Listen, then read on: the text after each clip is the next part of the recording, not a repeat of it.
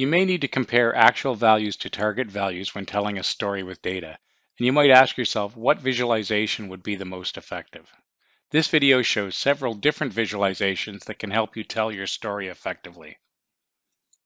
In this video, you'll see how the KPI can be used to visualize actual and target values, how the bullet chart can be used to compare actual and target values, and how the column chart can be used to show actual and target values.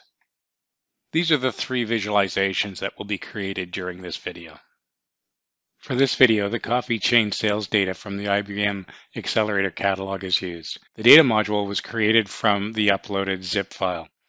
Sales target and daily sales tables are related through the sales outlet table.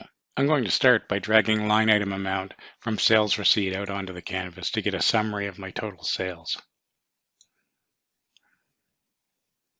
Because I want to compare my sales to my target, I'm going to change the visualization to a KPI. Now when I drag out total goal onto the target slot, I can see my actual sales from the line item amount, and I can see my total goal or my target amount appearing below. So I can see across all my stores, they're performing 43.6% better. Next, I'm going to drag the bullet chart out onto my canvas. Line item amount goes into the actual slot. Total goal goes into the target and dropping store address into the repeat row, I can see I now get a bullet chart for each one of my stores.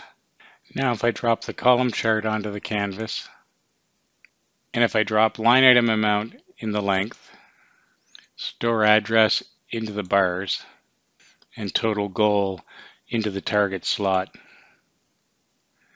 I can now see my sales by store. Documentation for IBM Cognos Analytics with Watson is available online. The video description below contains links for topics covered in this video. If you would like to try what was demonstrated in this video, you will find the data in the samples folder in Team Content.